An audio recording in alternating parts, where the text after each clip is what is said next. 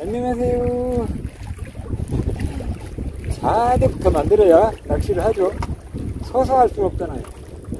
선낚시 너무 힘들어요. 그래서 태야 2시간은 해봐야 됩니다. 그래서 할 수 없이 자대 펴고요. 안쓰에 앉아야 돼요.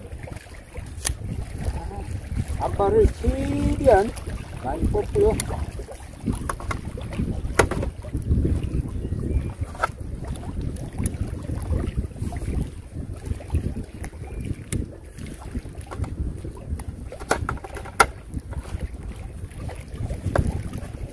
빠르면 공사를 얼마큼 줘야 되나?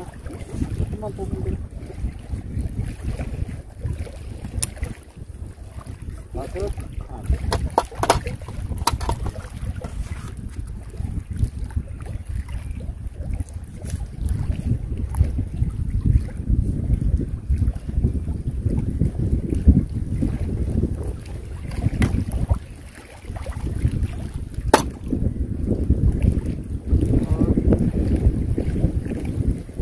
힘이 안쪽으로 들어갔어요. 아, 나와, 나와. 안 나와요, 이 힘이. 이, 좀 어쩌려고.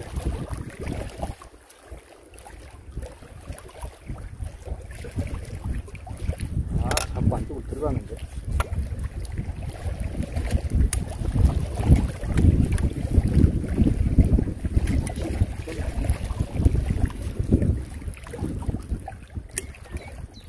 예스.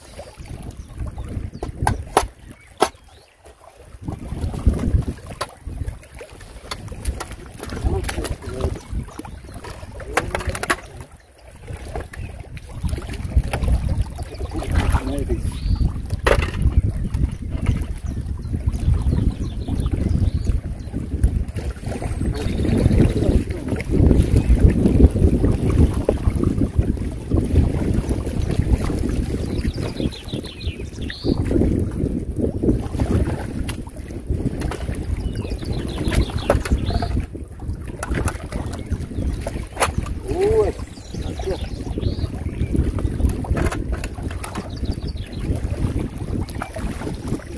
딱 좋아. good. 딱 좋아요. 그렇지. 오늘 이곳에서 탐사 낚시 지금. 아, 잠깐 탐사 낚시를 해보려고 이곳에 자리하고 앉았습니다, 지금. 근데 여기가 지금 앞에까지는 낮아요. 낮은데 조금 넘어가면 수심이 그래도 좀 나오는 곳이에요. 여기가 고불입니다. 튀어나와 있는 곳이에요. 근데 여기서 낚시를 할 때, 튜브지 지금 최하 2시간을 낚시를 하려고 그럽니다. 근데 2시간은 낚시를 해봐야 돼요. 지금 이곳에 탐사 낚시를 왔다면 2시간을 낚시를 해봐야 되는데, 튜브지는 이곳이 어느 정도 확신이 있고 믿음이 있기 때문에 2시간을 시작을 해 볼 겁니다. 그런데 아, 다른 저수지, 내가 모르는 곳이라고 그러면 2시간까지는 해볼 필요 없습니다. 딱 1시간만 해보고요. 1시간만 해보고 믿음이 안 간다, 안 될 것 같다 하면은 자리를 한 번 더 옮겨봐야 됩니다. 같은 저수지 내에서도 자리를 한번 옮겨봐야 됩니다. 그러든지 아니면 아예 다른 저수지, 다른 물로 가든지 이렇게 오늘 요즘 낚시는 발빠르게 낚시를 하는 게 훨씬 더 경제적이고요. 손맛도 볼 수 있는 지름길입니다. 저기지 오늘 떡밥 만들겠습니다. 오늘은 여기서 쓸 먹이, 먹이는 포테이토 하나만 만듭니다. 포테이토만. 글루텐 안 넣습니다. 지금 여기 저수지가 물이 굉장히 맑은 곳이에요. 그래서 물을 거의 먹어도 될 정도로 맑습니다. 상수원으로 써도 될 정도의 어, 물이 좋은 곳입니다. 이 저수지 상류에는 축사가 한 개도 없습니다. 축사가 없어서 물은 정말 깨끗해. 그렇다고 위에 상류에가 농사도 없습니다. 논농사 조금 있고요. 갓농사 조금 있고 그렇습니다.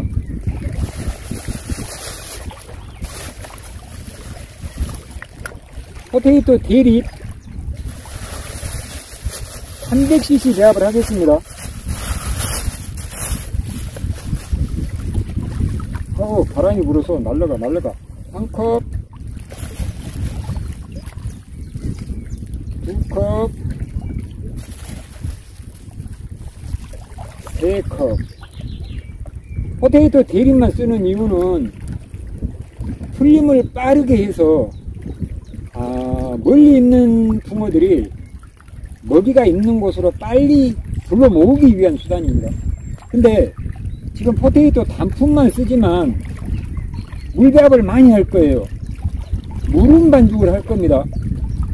물음 반죽을 튜브지가 물음 반죽을 할 때는 입자를 곱게 잘게 만들기 위해서 물음 반죽을 많이 합니다.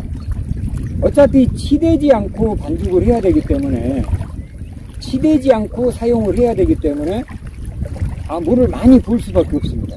물을 많이 부어서 뿔림을 확실하게 많이 불려놓고 어, 포테이토 입자를 많이 수분을 많이 함유를 하게 해놓고 그거를 조금 달기가 어렵더라도 처음에는 잘 안 만들어집니다. 뭉쳐지질 않아요, 잘. 근데 이게 뭉쳐지기 시작한 게 언제쯤 뭉쳐지냐면 시간이 좀 지난 다음에 물배합을 해놓고 시간이 조금 지나면 한 20분 정도 이상만 지나면 잘 만들어집니다. 그렇다고 해서 만지면 안 되고요. 추가공을 해서는 안 됩니다. 물을 배합해 놓은 채로 그대로 방치를 해줘야 됩니다. 그 상태로 숙성이 됐을 때 바늘에 떼어서 달면 달기가 쉬워집니다. 지금 이게 쉐컵이잖아요. 그러면 300cc입니다. 300cc의 튜브찌가 물을 지금 300cc를 부을 거예요. 1대1로 부을 겁니다, 물을. 그러면 이거를 충분히 불리겠다는 얘기예요. 수분 흡수를 충분히 시키겠다는 얘기입니다. 300cc 넣습니다. 하나, 둘, 셋. 1대1로 넣으면 손가락으로 만질 필요도 없습니다. 단품이기 때문에. 굳이 손으로 만지지 말고요. 그냥 물을 이렇게 흡수를 시켜서 이 상태로 그냥 둡니다. 만지면 안 돼요. 아, 손으로 만져서 더 만져야 될 이유가 없잖아요. 수분이 다 먹었는데 괜히 손가락으로 이렇게 저을 필요가 없어요. 수분이 다 흡수가 됐으면 굳이 손가락으로 저을 필요 없습니다. 그래서 수분만 흡수시킨 상태를 이대로 두는 거예요. 그러면 납작해졌던 포테이토 입자들이 수분을 다 흡수를 하게 되면 물이 좀 많은 상태로 흡수를 하게 되면 입자가 될 수있면 잘게 부서지면서 숙성이 만지면 숙성이 되지만 잘 만지지 않고 이대 이 상태로 두면 물러지질 않는다는 얘기입니다. 이거를 만져버려서 입자를 더 곱게 부셔버리면 수분이 더 많아져서 더 묽어지는데 묽어지는 현상이 생기는데 이대로 두고 사용을 하게 되면 묽어지는 현상이 생기지만 덜합니다. 그래서 이대로 두고 완전히 물기를 다 흡수를 할 때까지 이대로 둘 겁니다. 그런 다음 바로 바늘에다 빼서 바로 달 겁니다. 18척을 바로 펴는 이유는 미련이 안 남아야 됩니다. 사실 15척을 펴봤는데 입질이 없잖아요. 그럼 어차피 또 18척을 펼 거잖아요. 그래서 아예 그냥 처음부터 18척을 펴고 여기가 붙어서 만약에 잘 나온다면 15척으로 줄여서 낚시를 해볼 수는 있겠지만 처음부터 짧은 척을 폈다가 긴 척으로 바꾸는 것보다는 처음부터 긴 척을 펴고 멀리 있는 고기가 조금 안정적으로 먹이 활동을 하게끔 긴 척을 펴서 멀리 있는 고기를 끌어들여야 됩니다 앞으로 그래서 처음, 처음에는 긴 척을 펴고 시작을 했다가 짧은 척으로 자꾸 줄여가는 게 낚시에서는 튜브치는 맞다라고 생각을 해서 항상 긴 척을 먼저 펴서 멀리 있는 고기를 끌어들입니다. 만약에 긴 척을 폈는데 고기가 잘 안 들어온다. 그러면 튜브치 반털로만 하게 만들어서 21척, 24척, 30척짜리에다가 던져줍니다. 그러면 멀리 있는 녀석들이 떡밥의 맛을 보면 경계심이 있어서 앞으로 안 오는 붕어들이 떡밥 맛을 한번 보면 어? 이거 먹어보니까 맛있는데? 이렇게 하고 호기심이 또 생길 수가 있단 말입니다. 아니면 떡밥 맛을 안 본 녀석들이 처음에 떡밥 맛을 알 리가 없잖아요. 냄새는 나는데 새로운 것인데 그래서 먹이를 손으로 다뤄서 반털만 하게 해서 먼 거리에다가 손으로 한 알이나 두 알을 던져주는 겁니다. 그러면 거기에서 맛을 보고 맛있다고 생각이 되면 가까이까지 경계심을 허물고 가까이까지 올 수 있다는 얘기입니다. 사람이 생각하는 거나 붕어가 생각하는 거나 그런 면에서는 거의 비슷하지 않나라고 생각을 합니다. 왜 그러냐면 먹이 활동이라는 게 우리가 처음 먹어봤던 거는 사실 경계를 좀 하잖아요. 어, 이거 먹어도 되나? 먹어도 안 죽나? 독이 있나 없나? 그러다면 그거를 먹게끔 하려면 안정권으로 가야 됩니다. 어느 정도 믿음이 있어야 됩니다. 그러기 위해서는 먼 곳에다 던져서 한 번쯤 먹이 맛을 보여주는 것도 그것도 낚시입니다. 미끼라는 게 왜 미끼입니까? 내가 붕어를 유혹하기 위한 수단입니다. 미끼라는 게. 그래서 미끼 충분히 활용을 할 줄 알아야 됩니다. 손으로 내가 투척을 하면 뭘로 투척을 한다고 그래서 그게 잘못된 건가요? 절대 아닙니다. 주변에 낚시하시는 분이 있다면, 기 낚시하시는 분이 있다면, 그거는 절대 잘못됩니다. 안 됩니다. 하지만, 나 혼자 탐사 낚시를 왔다면, 멀리 던져서 끌어들이는 겁니다. 차근차근 끌어들이는 게, 그게 낚시의 하나의 기법입니다. 딱해서 낚시를 집어를 시작을 합니다. 바닥 수심이 아주 많이 깊어버리면 아예 띄워서 하는데 지금 바닥부터 바닥에 찍고 바닥에 찍고 풀림을 빠르게 해서 표층부터 내려가면서부터 풀릴 거예요. 어느 층에서 건드림이 나오나 우선 탐사부터 해야죠. 그래서 바닥 그대로 두고 그냥 갓질이라고 그러죠. 우리 떡밥 계속 넣어줘 봅니다. 그러면 지금 아까 그 상태로 떡밥을 둔 상태 뭐 지금 숙성이 된 상태예요.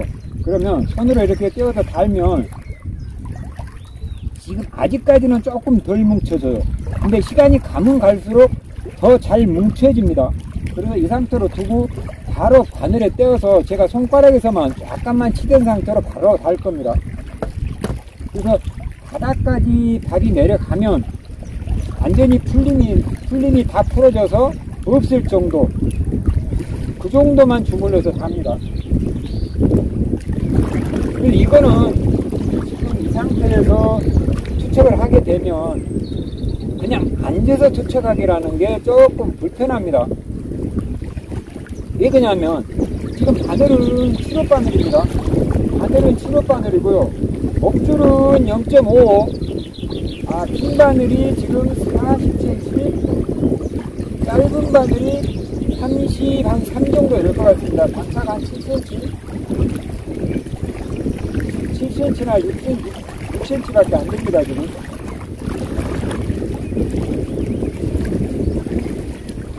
자, 이 상태로 달아서 앉아서 달면 조금이라도 튕기면 밥은 붙어는 있지만 아, 떡밥에서 바늘이 조금 이동을 합니다.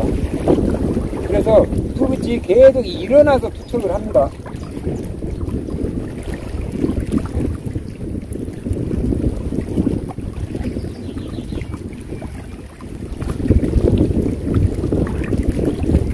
이런 불편을 없애려고 대부분 낚시하시는 분들이 포테이토를 손가락에서 많이 주무릅니다.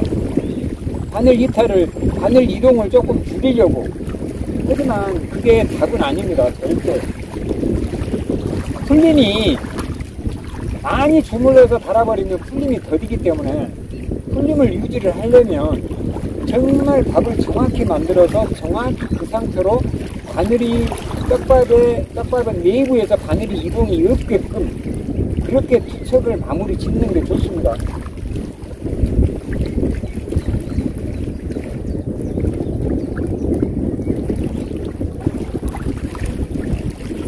건드림이 나올 때까지 지금 이 동작은 계속 반복입니다. 건드림이 나와야 이제 밥을 더 풀림이 더 늦게 하든 조정을 할 수가 있지 지금은 단지 무조건 집어입니다. 지금은 이변이 미끼용이 아닙니다. 지금 집어용이지 절대 미끼는 아닙니다. 그래서 처음부터 미끼용을 달아서 낚시를 한다면 집어가 너무 늦습니다. 그래서 지금 이렇게 떡붕 낚시 위주로 낚시를 할 때는 우선은 집어반만 달아야 됩니다. 집어반. 내가 처음부터 고기를 낚아야 되겠다는 생각은 잠시 접어, 접어두고요. 아무리 짧아도 30분은 집어를 한다라고 생각을 해야 됩니다. 고기가 들어와도 30분 내에는 낚지 않겠다는 생각으로 해면서 집어부터 시작을 하는 겁니다.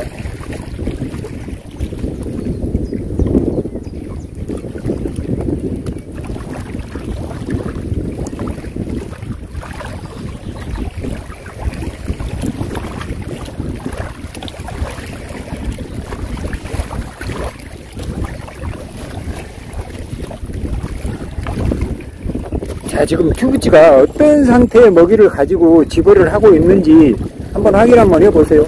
우리가 담가 봅니다.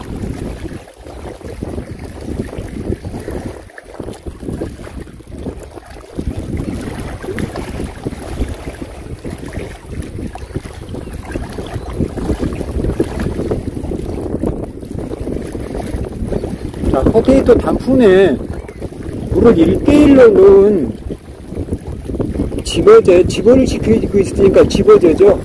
집어제의 풀림 상태를 한번 보십시오. 계속 풀어집니다. 이 정도면 지금 움직일 때 바닥까지 내려가면 거의 풀림이 다 나와버리고요. 작은 상태의 밥으로 아래까지 내려갑니다. 자, 지금 보십시오. 바늘에 아직도 심이 남아 있습니다. 이 정도로 심이 남았을 때가 고기가 입질할 때가 제일 좋아요. 그러니까 먹이는 항상 집어제를 달든 먹이밥을 달든 이렇게 심이 남아줘야 됩니다. 심이 이렇게 심이 나오게 항상 먹, 밥을 달아줘서 집어를 시킬 때도 이거를 유지를 해줘야 됩니다. 혹시라도 집어 중에 먹이 활동을 하는 녀석들이 있기 때문에 반드시 집어를 유지를 해줘야 됩니다. 아유 무거워. 자, 집어를 시작하고 아, 지금 한 1시간 정도 지났습니다. 그래서 어, 이제 집어는 어느 정도 됐다 싶어서 먹이밥을 만듭니다. 이제 집어밥은 다 썼고요. 이제 먹이밥을 만드는데 먹이밥은 산산 하나 만듭니다.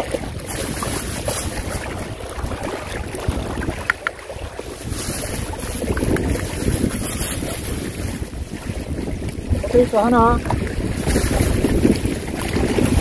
아, 바람이 너무 많이 부는데. 둘, 셋, 그러니까 미리 3컵 넣습니다. 일단 글루텐 한 컵. 네, 글루텐 한 컵.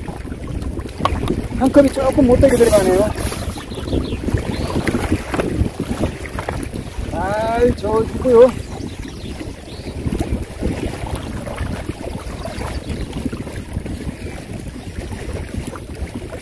많이 불어서 물을 3컵 반만 넣겠습니다. 하나, 둘, 셋, 3컵 반. 그러면 바닥이 약간 됩니다, 돼. 바람이 불어서 스윙을 해야 될지도 몰라. 벌려서 쳐야 될지도. 자, 이렇게 만들었습니다. 아, 바닥이 밑걸림이 있어서 바닥층까지 내릴 수가 없습니다. 그래서 계속 바닥층 가까운 곳에 집어를 계속 시켰어요. 근데 어차피 바닥에서는 지금 바닥을 내려서 내바늘로 바닥을 찍어봤지만 입질은 없습니다. 바닥에서는. 그래서 지금은 이제 1m 한 50, 1m 50, 1m 한 70, 이 정도 수심에서 중층 낚시를 계속 할 겁니다, 이제.